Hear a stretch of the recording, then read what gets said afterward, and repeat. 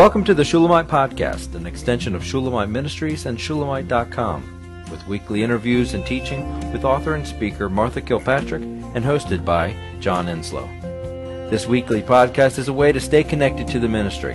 So come experience anointed messages, not giving just another method, but a living impartation.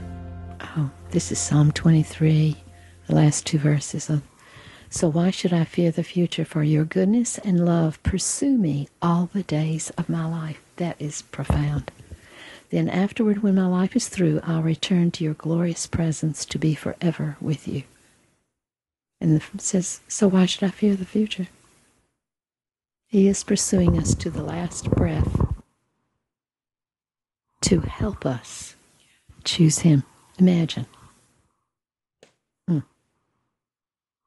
I didn't even really realize when I was driving that that's what was going on. It just was going on. Well, you do it all the time. That's It one just reason. it- well, it's pretty amazing. It just it it literally was so natural, Mm-hmm. but I realized that there was a choice that was being made that I wasn't really I wasn't thinking about that. It just all of a sudden came up, and I was like, Mm-hmm. "Oh yeah, well that's that is my choice." So he was leading me like a shepherd in my Mm-hmm. you thoughts. along. A- a- absolutely. Here, make this choice. Oh, okay, that's the choice. And and it is little choices. It's little Mm-hmm. choices that that um, you know.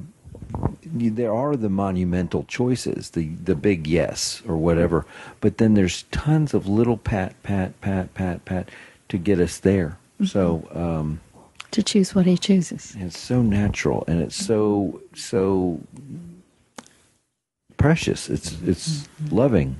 I was about to say it's it's loving. It's His presence. So it's the third day of the new year. So it's a good time to talk about choices. Yeah, because we're going into 2019, and and this is, And know, and we were we were reading this book by E.W. Kenyon and Don Gossett, Words That Move Mountains.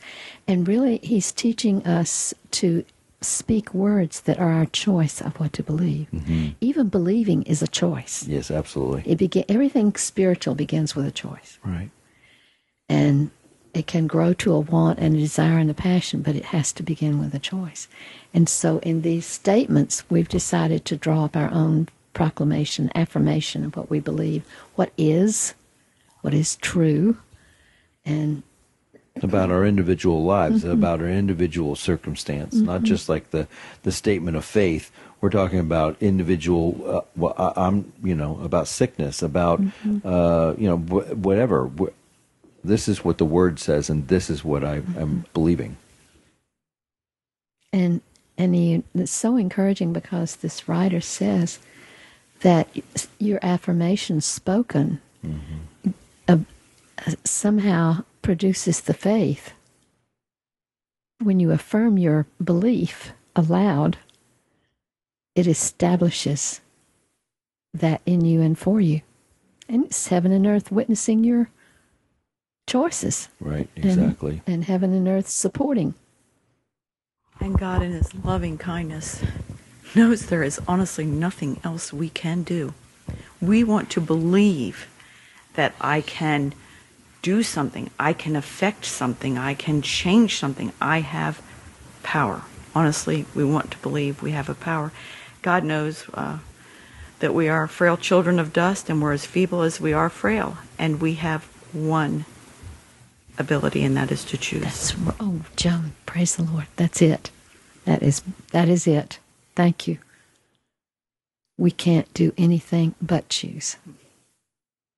And if we don't choose, we've lost everything.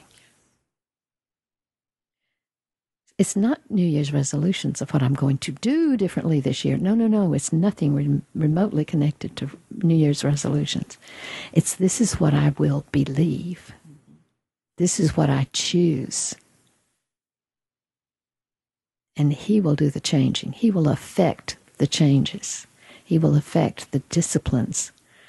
It's the difference between choice and doing. And that's the division that's so difficult for us to make. We believe if I don't love God, but if I say I'm going to love God or I choose to love God, then I'm just a liar. No, no, no. That's it's a matter of the will.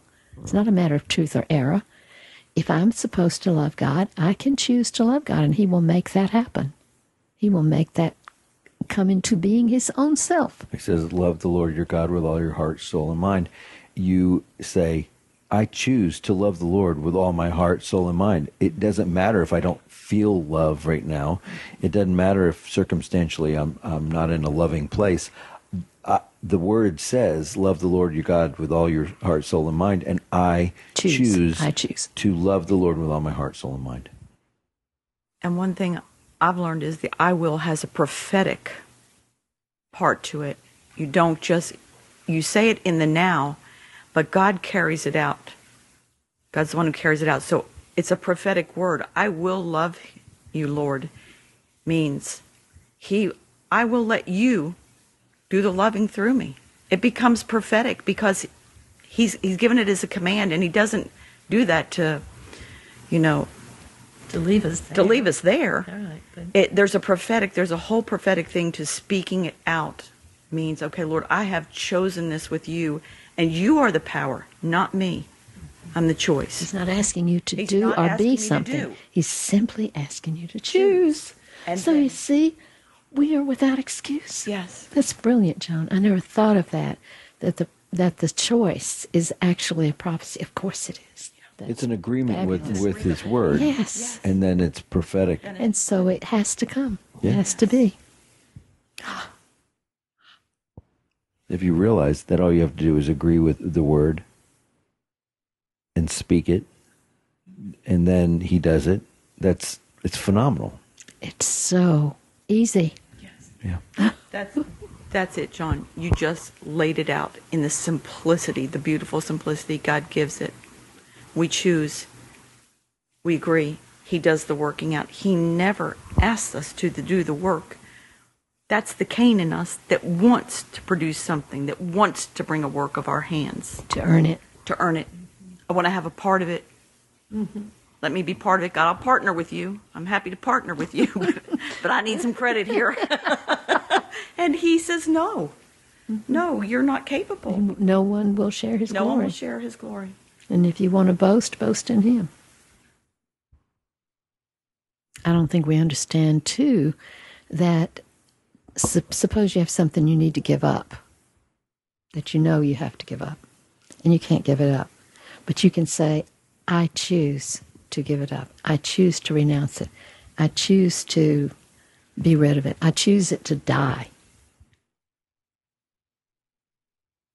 And that God picks that up. Heaven and earth are witness to your choices. And heaven and earth will support whichever way you choose. You're talking about a word you know like this book. You're talking about words that move the mountain. You, you are making that choice. You're going according to what he says what the word says and you're mm-hmm. saying this is this is what you have set as a standard mm-hmm. for all of us to live by. This is your standard and I am agreeing with that standard and I'm choosing that standard and, that's- it must be done. Mm-hmm. It And must be done in my the- life. That is, if we could see on the other side, we would see the heavens shift according to our choices to obey God. And we would see enormous angelic activity to support our choice. What, what do the angels minister to us for? To support our choices for God. And you know, the word ifs is in so much, if you will do so and so. And the word if means that you have a choice and you must choose. If any man would follow me, he, he will lose all his possessions. If means you have a choice. Are you willing to lose everything for him? That choice has to be made. Are you or not his disciple? So it's so simple. You did say it simply, John. I'm going to write it down when I listen to the tape. I'm going to go write it down when I listen to the tape. And I ask this as a question, Martha. Does my choice then release his creative power? Release Yes. Release his let? Yes. Because his let is creative, but it requires my choice. So is that when I make a choice, I release his creative power, not mine. I can do Oh. nothing, but my choice releases him to come in and do what I can't do. Exactly. He will create what we've chosen, and we don't have to. We're children. We're sheep. All we can do is choose. That's it. You're right, John. That's beautiful. Oh, glory. I'm so glad you're here. We hope you've enjoyed the Shulamite podcast. For all the latest from Shulamite Ministries, please visit us at shulamite.com, where you'll find Martha's daily devotions, posts from getalongwithgod.com, and the online library of all of Martha's writings.